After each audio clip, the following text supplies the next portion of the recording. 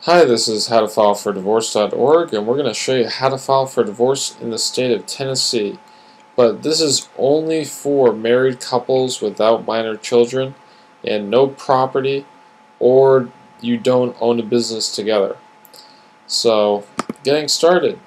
You want to come to this webpage and you want to download the Tennessee divorce papers. Now, if you don't know uh, what divorce papers are. It's just all the required forms to divorce.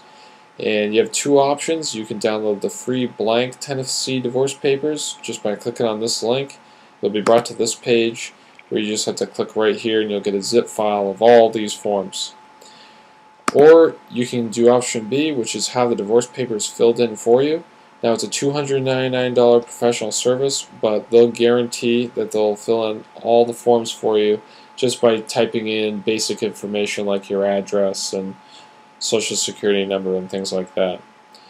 So whether you get your uh, divorce papers from option A or B, you can move on to step two. The spouse that has decided to file for divorce must complete the following forms and be sure to have them filed with the clerk uh, clerk's office in the county where you reside.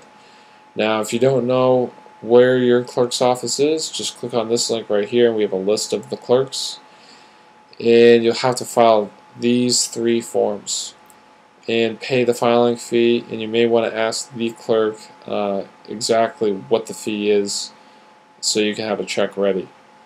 Um, and if you can't afford the filing fee then you can download this form right here.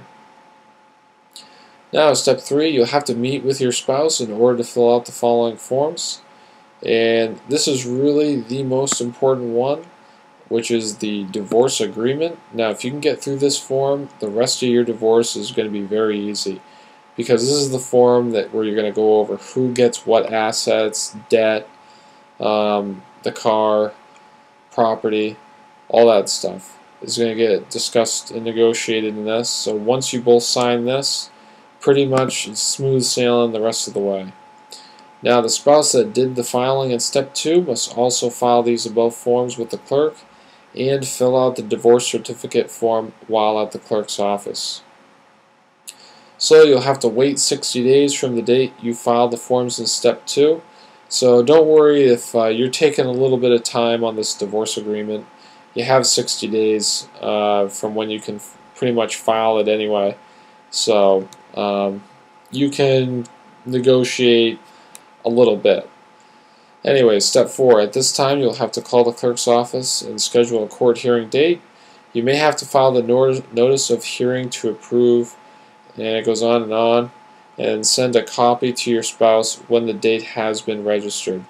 So basically, once you get your court hearing date, you may have to file this form and send a copy to your spouse once you get notice uh, or you know of your court hearing date. So step five, you'll just have to go to your court hearing. And remember these hearings, as long as you all agree to everything, these hearings don't take more than 15, 20 minutes. You just kind of walk in.